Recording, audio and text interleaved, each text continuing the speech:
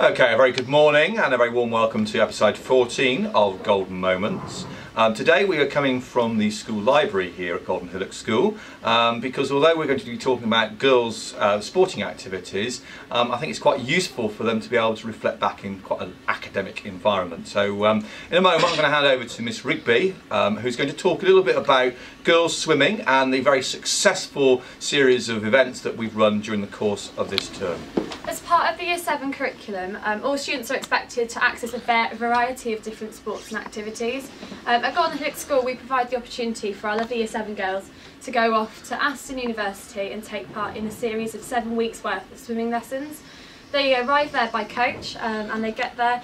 Every student takes part and I've got some girls here today who will explain to you what they've been doing, what they've been Now we're going to hear from some of the Year 7 students who have been looking at swimming over the last few weeks. Okay, so Aisha, can you tell us what you've been learning about in swimming please? In swimming we've been swimming in the shallow end and then we swam in the deep end with noodles and floats and it was really fun because I got to build my confidence by swimming in the deep end and some students are scared when they go to swimming, but we expect all students to take part.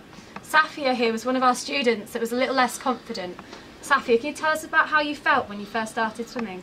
When I started swimming, I felt scared, but when I got in the water, um, it was fun. Did you feel that you've achieved something? When we go swimming, the most important thing that the students need to learn is how to be safe around the swimming pool.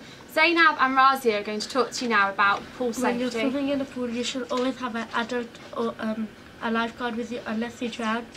And in pool, you should not run because if some if you run, uh, you can slip in the uh, water. Um, and you should not eat, drink. Um, you should always wear the correct uniform on because if you wear heavy clothes on in the swimming pool you can drown or you might like I don't know. You know you can drown. What did the lifeguard do when we first arrived at the swimming pool? She showed us how had the what's it called? The alarm. If if she pressed the button then we had to get out of the pool and listen to it Okay, to build water confidence, we used Change4Life's programme and we looked at different games and different activities that we could do. Sonia's just going to talk to you now about some of the activities that we, we completed in the class. Um, we've been playing um, silly hats, kick and jewel and free play. What did you do for silly hats? We had to balance uh, the floor on our heads and walk across uh, walk across the swimming pool. Okay. And what did you do during free play? Uh, we dived and uh, got some bricks and toys, and uh, they were really heavy, but we had to dive and give it to our classmates. Okay. What was your favourite game? My favourite game was uh, free play. Thank you, Sonia.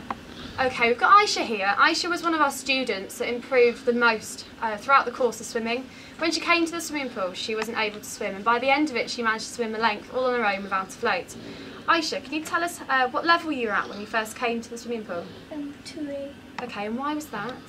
Um, I, I used a float and I was scared to um, balance on the water. Okay, and what were you what were you able to do by the end of the, the course?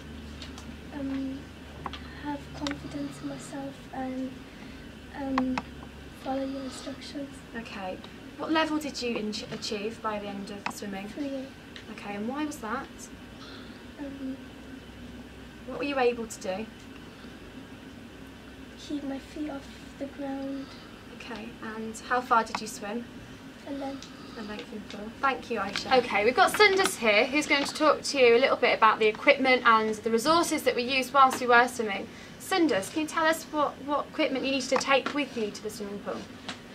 For swimming, you have to take a, a towel, your swimming costume, and it could be any swimming costume as long as it's like, like coverable. Okay, did you need anything else? You needed um, uh, if you could like, you could bring a, a goggle and a swimming hat, but the Aston uh, swimming pool provide you with a swimming cap. Okay, did we use any other equipment from the swimming pool whilst we were there? Uh, we used uh, we used uh, like noodles. What's a noodle?